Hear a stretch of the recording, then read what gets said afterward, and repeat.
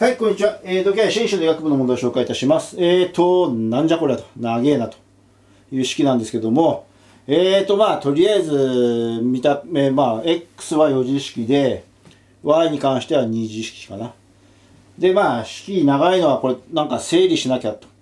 まあ、式は見たら整理しろと。部屋は整理しなくてもいいから、式は整理しろと。で、これまあ、普通の感覚でなら、まあ、x の4次式で整理しようかなっていうことでしてみます。2x の4乗。で、3乗はこことここにあって、両方マイナスだから、マイナス、えっ、と、2y と、プラス3。x の3乗と。で、2乗はこれしかないかな。3。じゃあ、あえて yx の2乗と。で、1次は、これとこれで、じゃあ、マイナスでくくって、カッコ y-1x と。で、残り x を含まない y は、プラス y カッコ y-1 と。イコール0と。じゃあ、ここで、えっと、まあ、式見たら因数分解できるのが一番嬉しいんで、因数分解できないかなって考えたときに、因数定理使うとしたら、y の4次式とみなして因数定理使うとしたら、当てはめる数字は、プラスマイナス y かプラスマイナスこれしかなくて、で、まあ、一番手っ取り早さの y 入れてみると、2、y の4乗。y の4乗と消えるのは y の4乗だけなんで、y3 乗と y かけるから、これでちゃんとマイナス 2y4 乗も消えたと。y の4乗消えた。で、えっ、と、次、y の3乗は、ここにマイナス 3y3 乗と、これがちょうど 3y3 乗になってプラスだから消えて、で、ここに y 入れると、ちょうどこれのプラマイ反対なんで、もうあっという間に、あ、y で、y で割れる。すなわち、x マイナス y を因数に持ってるんだと。じゃあ、せっかくこれ4次式にしたんで、もうこのまま活用させてもらって、組み合わせ情報それと。B つって、2、2y。で、マイナス 2y だからちょうど消えて、3、マイナス3だけ残る。で、マイナス 3y だからちょうど消えて0。で、0だからそのまま降りてきて、で、これと y かけて、ちょうど予定通り割り切ると。いうことは、この式は、2x3 乗マイナス 3x 次乗で 0x とでマイナス y プラス1イコール0ってこう因数分解されたら x らの条件も簡単ですねと。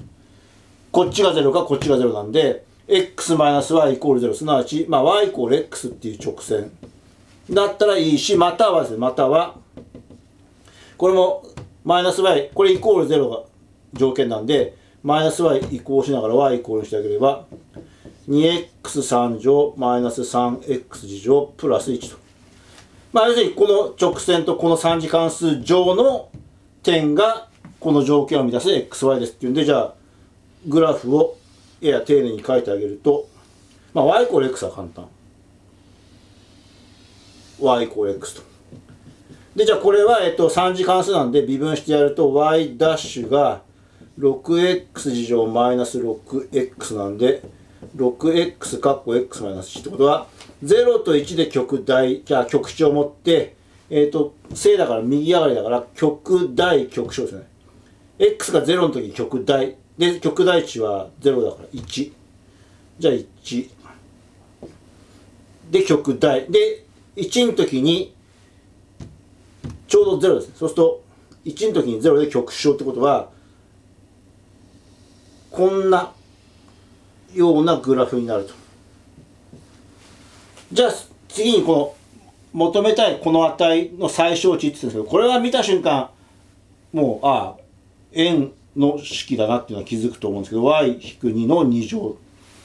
でまあこれの値なんでじゃあこれなんかまあ y のあの円の式になってるから別に2乗とでもしておきますかと。